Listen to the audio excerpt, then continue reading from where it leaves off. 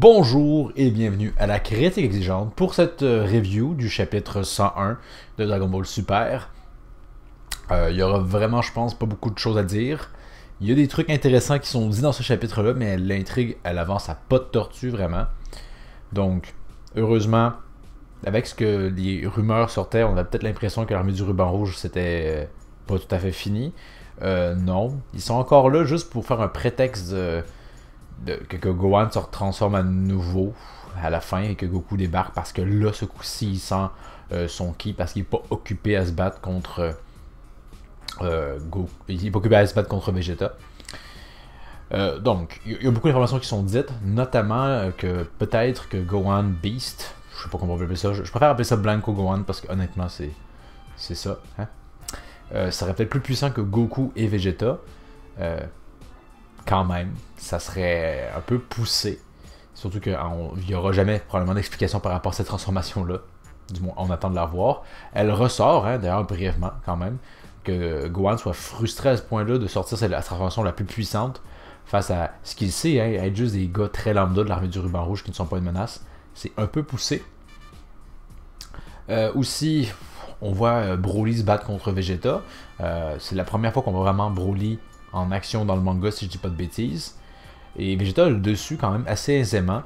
En même temps, on ne sait pas trop à quel point c'est 100% raccord avec le film, donc euh, c'est à voir. Mais encore une fois, avec ce qu'on voit, c'est fou. J'ai pas l'impression vraiment que euh, la passion Toyotaro l'a un peu perdu. Ça n'a jamais été sa force, je trouve, là, mais c'est juste mou, jamais vraiment bien découpé, rien de vraiment exaltant. Et, ce qu'on voit, l'impression de l'avoir vu un peu ailleurs, hein, quand euh, Vegeta disparaît très rapidement pour faire un coup dans euh, la nuque à Broly. Ça rappelle un peu euh, Goku face à Nappa. Donc, rien de fou à ce niveau-là. un peu d'humour où Vegeta profite du fait qu'il a enfin une victoire face à Goku. À maintenant transformé, est-ce que c'est vraiment si significatif que ça? Je sais pas trop. Aussi, on fait, on fait référence à nouveau à Freezer dans sa forme noire, hein, Black Freezer, et que Goku semble impressionné que ce dernier se soit entraîné à ce point-là pour les surpasser. Euh, ben, pas tant, non. Hein. En fait, ce qui est surprenant, c'est pourquoi il vous a tout simplement pas éliminé à ce moment-là. Et euh, euh Beerus encore illusion que quand vous deviendrez plus fort que moi, vous deviendrez de la destruction. Euh, est-ce vraiment vrai ou c'est encore du bluff? Dans mon livre à moi, il est passé depuis fort longtemps, mais bon. Hmm et on n'a pas la moindre mention de la prochaine menace. Hein. À la fin, il y a finalement rencontre, euh, Goku revient sur Terre et il voit donc euh, Gohan et son fils. Donc, l'intrigue vraiment avoir sa pas de tortue. On n'a aucune idée vers quoi ça s'en va. Il n'y a rien vraiment pour nous mettre l'eau à la bouche. Mais non plus, c'est pas non. C'est pas pénible non plus. On n'a pas les rapports de puissance, etc. Mais quand même, hein. Euh, nous rappeler, nous dire que Cellmax c'était une menace qui aurait été même la difficulté, posé la difficulté à Goku et Vegeta. Euh, encore une fois, avec ce que nous on, a vu, pas du tout. C'était pas l'impression qu'on en avait. Rappelons-nous que les apports de Krillin semblaient presque aussi importants que euh, les apports de Trunks et Gotenks, ou même Piccolo en fait. Les apports peut-être pas tant, mais l'idée qu'ils étaient aussi blessés malgré peu d'impact que ça avait les coups de Cellmax. Donc bref.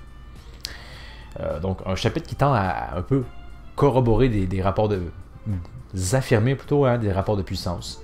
Donc rien de fou, c'est pas encore une fois pas foulement bien dessiné.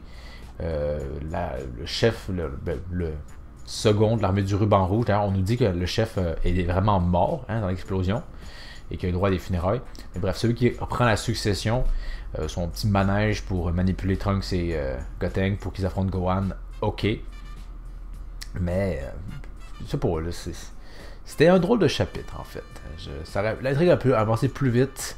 Ce qu'on a eu n'était pas forcément dégueulasse, mais en même temps, ça fait beaucoup de chapitres qu'on on se demande où est-ce que ça s'en va, et on ne le sait toujours pas. Euh, donc, ça, ça, conclurait, je vous dirais mon avis. C'est pas le pire chapitre qu'on a eu, mais forcément, rien de vraiment exaltant. Euh, habituellement, Dragon Ball Super nous mettait plus rapidement quand même l'eau à la bouche, euh, pour souvent qu'on se rend compte que c'était indigeste comme repas, mais quand même, ici, ben, on est toujours en attente. Hein. Et en passant, Gohan Beast, c'est toujours aussi moche. Hein. Ou Gohan Blanco, hein. désolé. Euh, donc, vous, qu'est-ce que vous avez pensé du chapitre, même s'il se passe tellement à peu près rien que. Il y a à peu près rien à y penser. Vous pouvez en faire part dans les commentaires. D'ailleurs, ça vaut la peine de le soulever. Euh, la chaîne va bien depuis euh, environ un mois. hein, avec des vidéos qui semblent générer quand même un certain intérêt. Bon, encore une fois, un certain, on le précise. Mais ça fait plaisir. Hein, après, euh, ce que j'aime, c'est discuter, débattre. Et certaines vidéos ont quand même euh, posé euh, beaucoup de débats, quoique j'aurais jamais cru entendre des gens être contents que Sakura serve à rien dans Naruto et que c'est à la limite, il faut pas questionner ça. Que si elle avait été intéressante, ça aurait été moins bon. J'ai des doutes là-dessus, mais bon. Donc, merci d'avoir regardé. pour la prochaine critique exigeante, ça devrait pas une critique, mais un pitch de vente. Je, travaille là-dessus, mais avec un enfant, c'est toujours. il y a beaucoup moins de temps. Mais lentement, sûrement, ça, prend forme. Et comme toujours, hein, si vous avez une suggestion de, sujet sur lequel vous voulez que je parle, c'est faisable, ça me fera un plaisir de le faire. Hein. C'est les avantages de regarder un petit YouTuber. Il est à l'écoute de sa communauté. Donc, euh, je vous dis à la prochaine. Critique exigeante.